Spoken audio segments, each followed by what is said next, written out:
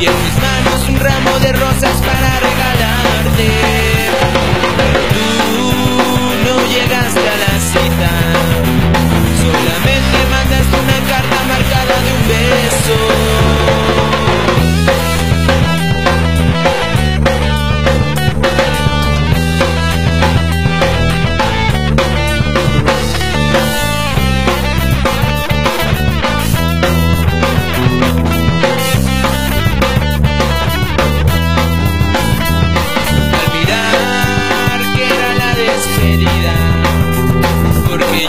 querías que siguiera